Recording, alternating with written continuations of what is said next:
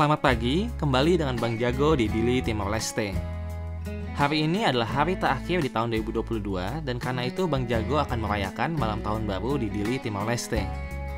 Kebanyakan orang Timor Leste beragama Katolik dan karena itu biasanya mereka mengawali malam tahun baru dengan beribadah di gereja masing-masing. Begitu juga dengan Bang Jago. Hari ini pada sore hari Bang Jago akan beribadah terlebih dahulu. Ibadahnya kali ini berlokasi di sekolah. Sekolah Advent Internasional atau Timor Leste Adventist International School, disingkat TAIS. Ini adalah sekolah internasional yang menggunakan bahasa Inggris. Yuk kita ikuti dan lihat ibadahnya sekilas seperti apa.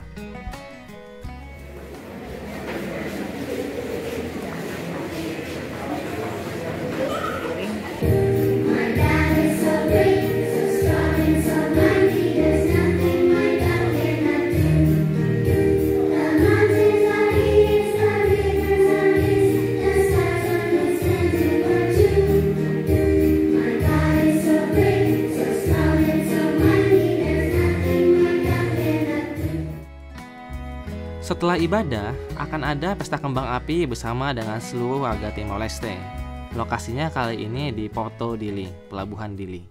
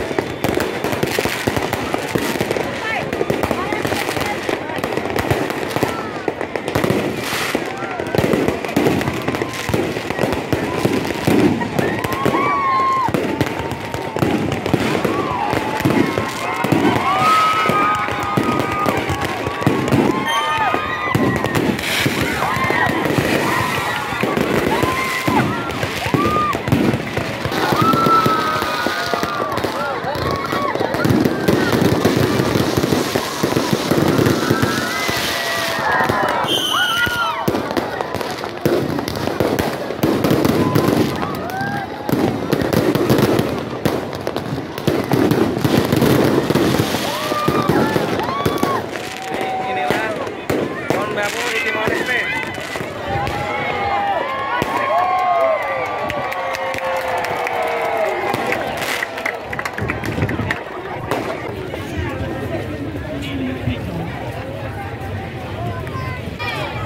Standnya stand pemerintah ya.